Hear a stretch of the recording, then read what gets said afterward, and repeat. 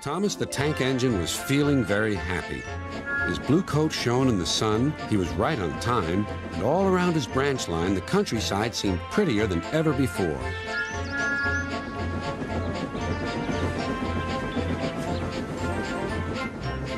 Beep, beep. Good morning, Percy, he whistled. My branch is the pride of the line, wouldn't you agree? Uh, yes, uh, Thomas, of course, but. Uh... But what, Percy? Out with it. Well, there is another engine with a famous branch line, too. Who? Where? His name's Stepney. He's far away. But Sir Topham Hatt says he may visit us. When? Oh, someday. And Percy hurried away. Meanwhile, Stepney was puffing steadily along his line. It isn't very long, and that made him feel a little sad. Later, he saw Rusty. The little diesel had helped save Stepney from scrap. Everyone's been so kind. But my railway is so short, and I do miss a good long run. I think you should tell Driver, too, replied Rusty. I'm sure he'll understand. Stepney soon discovered that indeed he did. Do you know, Stepney, I feel just the same way. That evening he had exciting news. Guess what, Stepney? Sir Topham Hatt has invited us to visit the other engines on his railway. Manager agreed. It'll be a really long run to get there. Oh, thank you, sighed Stepney. They set off next morning.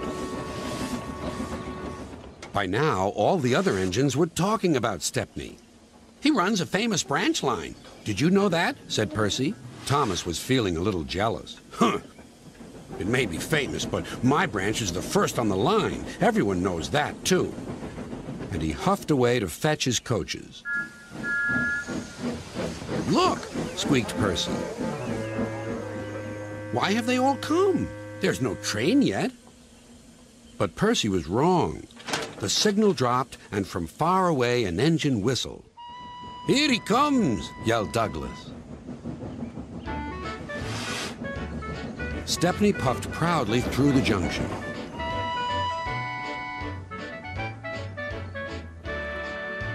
I hope you'll meet Thomas, too, said Edward. You both have branch lines to be proud of. Then Stepney set off to help Duck shunt coaches in the yards. And they worked happily together all afternoon. At last, Thomas arrived. Sorry, can't talk. It's time for my last branch line train. Mustn't be late.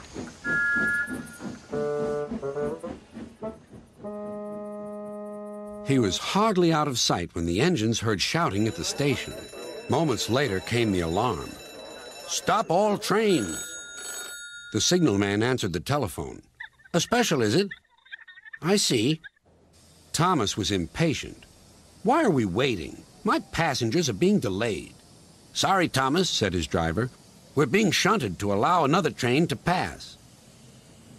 Soon they heard an unfamiliar puffing sound.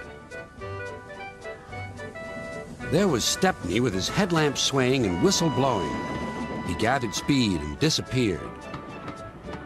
Well, bust my boiler, said Thomas the tank engine. Next morning, he was still fuming. Shunted, and on my own branch, too. It's a disgrace. I'm sorry, said Stepney. I was a special. Why? An important passenger arrived just as you left.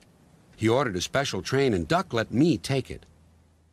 We had a splendid run, but... Uh, but, finished Thomas, it can make an engine nervous not to know the line. Exactly, said Stepney. You're such an expert. Thomas felt much better. He couldn't be cross anymore and began telling Stepney all about his branch line.